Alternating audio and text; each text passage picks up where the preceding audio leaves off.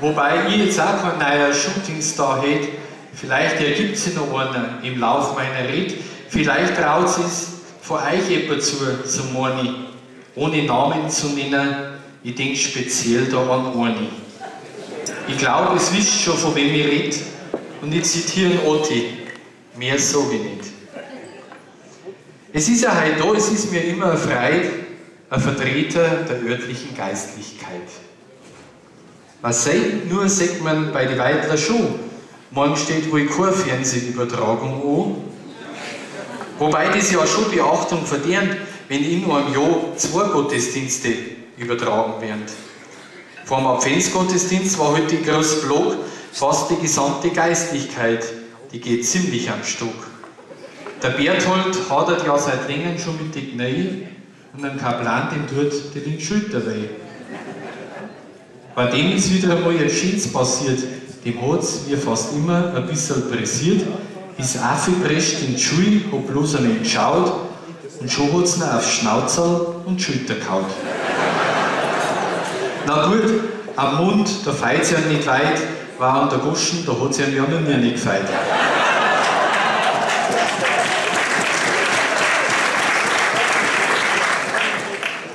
Und da habe ich mir gedacht, das passt ja wunderbar zusammen. Der eine kann nicht herrschen und der andere ist flügellang. Und als Ansage im Fernsehen, ich sage es euch gern, habe ich befürchtet, folgende Ansage zu hören.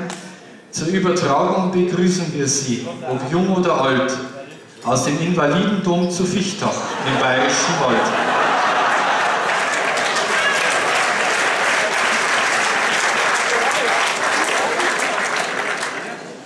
Und die Übertragung da der große Erfolg wieder werden.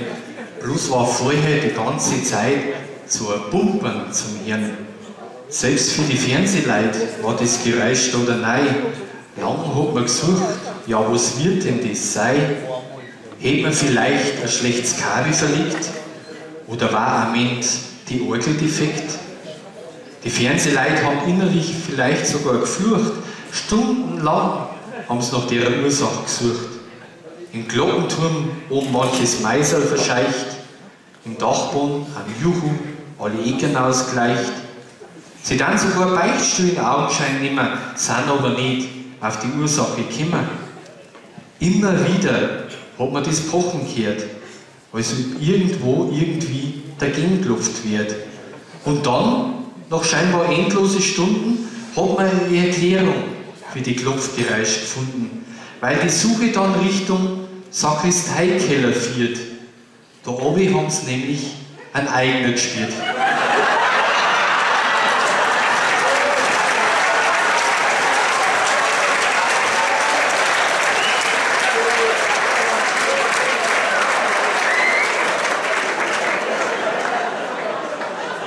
war auf den, auf den wollten sie, das kann euch berichten, aufgrund der beschränkten Sendezeit wieder ganz gern verzichten.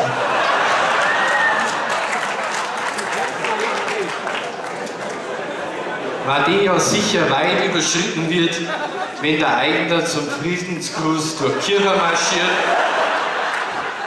Wobei mancher, der am Rand sitzt, in Schwitzen kommt, wenn der Eigner zum Handschlag seinen Anlauf nimmt.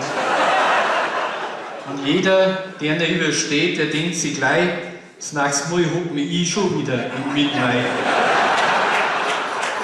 Na gut, so schlimm ist es nicht, es ist zum der Drum, da er nicht gleichzeitig auch immer noch auf die Schulter schlagen. Und das tut ihm ja besonders gut klingen, der Kaplan, der kann da ein Lied davon singen. Weil der hat sich, wie schon verzeiht, die Schulter gebrochen und der Kontakt zum Eigner war da nicht zum Lachen. Ja, der Eigner meint, Kim, das wird schon wieder. Und schon fällt sein Pranken auf die kaputte Schulter nieder. Der Kaplan zuckt zwar zusammen, aber am Eigner nicht nur. Und schon schlägt der Diakon ein zweites Mal zu. Und der Kaplan hat befürchtet, dass sein End kommen wird. Er hat nämlich schon alle Engel singen gehört. Aber die im Himmel wollten ihn noch nicht haben. Gut für mich, weil ich muss ihn noch lohnen. Ich möchte es nämlich nochmal in Erinnerung bringen, dass ich zweifelt habe, ob es am Alexander mal klingen, dass er das tatsächlich zusammenbringt. dass er ein Fünf-Gänge-Menü für seine Gäste gelingt. Ich wollte nichts für Pilz und einem Schnitzel hören oder dass Spülgang und Hausgang auch Zeit werden, aber er hat es gemeistert und zwar mit Bravour, von fehlende Kochkenntnisse überhaupt keine Spur. Wobei das nicht seine einzigen Qualitäten sind, wir haben ja schon wirklich einen Mordskaplan.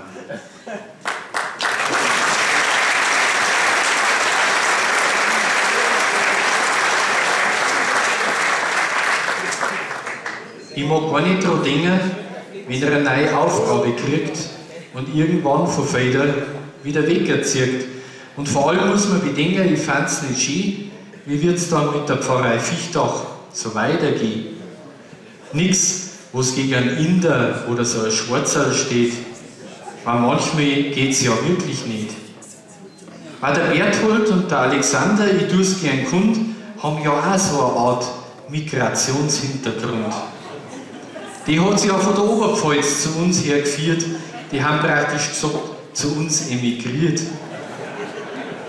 Jetzt höre ich mit dem Schmerz aber lieber auf, weil sonst kriege ich von Broerade noch eine drauf. Wobei unsere Pfarrer wahrscheinlich der Meinung haben, dass sie zwar in die Diaspora gegangen sind und dass wir Diaspora sind, das wird immer mehr belegt durch die Zahl der Kirchenaustritte, die man weit umseckt. Immer mehr Leute sind in Bayern zum Finden, die mit dem Glauben mit der Kirche nichts mehr anfangen können. Aber ich schimpfe wohl die Verkehrten, weil eins hoffe ich ist gewiss, dass von euch da drin noch keiner austreten ist. Sollte einer dabei sein, dem leset Leviten, der wird bald wieder um einen göttlichen Beistand bitten, weil der von mir so herbüstelt wird, dass er den im Himmel gleich singen wird. Weil ihr lebt im Felder da wie im Paradies.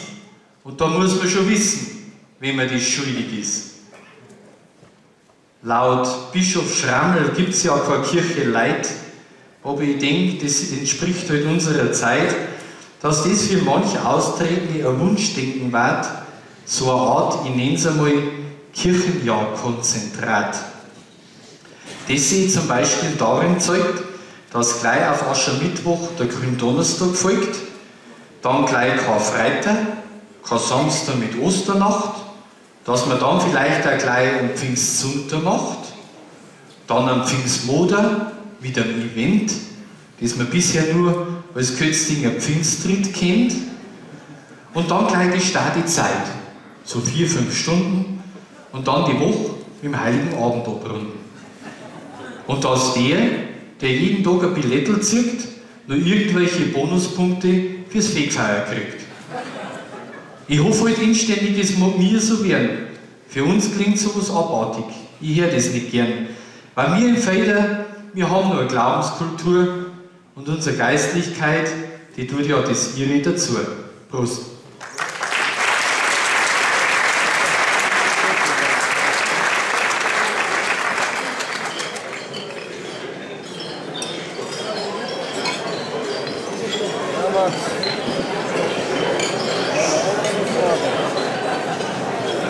Was ich noch mit einem Foren zu bereden hätte, euer Dekanwahl, mein Lieber, das war der Alfred. Es hat bekundet, dass von euch Vorschläge gemacht waren, die nur noch vom Bistum zum Bestätigen haben. Und dann habe ich gemeint, es wird so werden, ich werde in den nächsten Tag das Ergebnis hören. Aber mei war dieser Heimlichkeit, war da dieser Geschiss. Keiner darf es wissen, wer es jetzt nachher ist. Auf so manche Namen ist man da nachher gekommen. Man traut auch am Alexander zu, das Amt zu übernehmen. Weil ist kein Plan, was manchen Kollegen nicht gefällt, in St. Augustinus, dem Dom vom Borischen Wald. Und bei ihm, da fühlen sich die Gläubigen wohl. Seine Kirche ist nicht nur an die Feiertage immer schön voll. Und dann bin ich unruhig geworden. Weil ich mir gedacht habe, ganz gewiss, dass das auch einem Bischof bestimmt schon aufgefallen ist. Und der kann ja auf den Gedanken kommen, das Dekanamt vielleicht gleich selber zu übernehmen. Ich habe inständig bett, dass da wird nichts draus. Der Gerhard Ludwig als Austragsbischof im Donnerhaus. Und ich bedanke mich beim Herrgott in aller Namen, der Renner macht's weiter. bis in Ewigkeit. Amen.